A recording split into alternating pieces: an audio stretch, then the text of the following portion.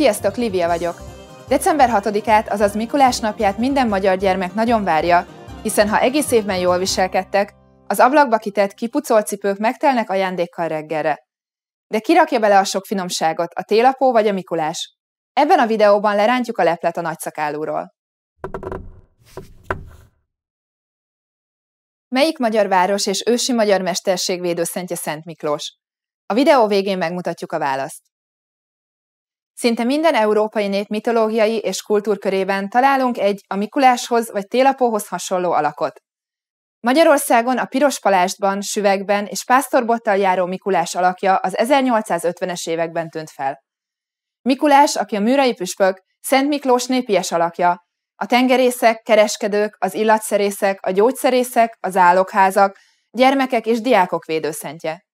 Az 1950-es években a kommunista vezetés azonban túlságosan kereszténynek tartotta a Mikulás elnevezést, és a nagy testvér Oroszország mintájára lecserélték a Mikulás alakját a télapóra. Lényeg a lényeg, december 6-án reggel a gyerekek izgatottan ugranak az ablakhoz, hogy meglássák vajon mit hozott nekik a Mikulás.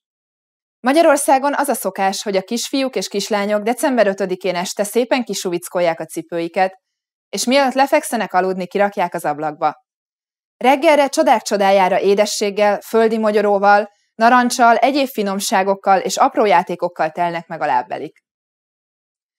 A Mikulás a személyében eredendően ajándékot osztogat a jó gyermekeknek, ezért szüksége volt egy kevésbé barátságos társra, aki Móresre tanítja a rakoncátlan ifjúságot. Ő a Krampus, egy ördögszerű figura, aki az osztrák területről indulva hódította meg Magyarországot is, mint a Mikulás kísérője. A Krampusnak köszönhető, hogy a finom ajándékok és játékok mellett a cipőkbe virgács is kerül. Állítólag a virgács a középkorban a gyermekek fenyítő eszköze volt, és sok gyereknek a mai napig sírásra görbül a szája, amikor meglátja a Mikulás csomagból kikandikáló virgácsokrot.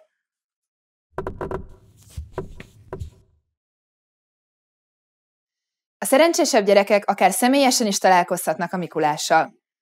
Sokan megkérik egy-egy ismerősüket, hogy Mikulásnak beöltözve látogassa meg a családot december 5-én este. Természetesen az igazi Mikulás felbukkanásának a hatása nem marad el. És most lássuk a választ a videó elején elhangzott kérdésre. Szent Miklós a pálinka főzők és Kecskemét város védőszentje is. Kecskeméten a Szent Miklós templomot úgy építették meg, hogy december 6-án, azaz Szent Miklós napján a lemenő napsugara megvilágítja az oltárt. Ez a mai Kecskemét legrégebbi épülete. Hogy tetszett ez a lecke? Tanultál valami érdekeset? Nálatok hogy hívják a Mikulást? Ír nekünk a hungarianpod 101.com-on. Viszlát legközelebb!